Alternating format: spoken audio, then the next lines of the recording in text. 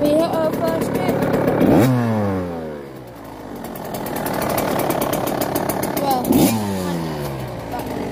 don't talk about that.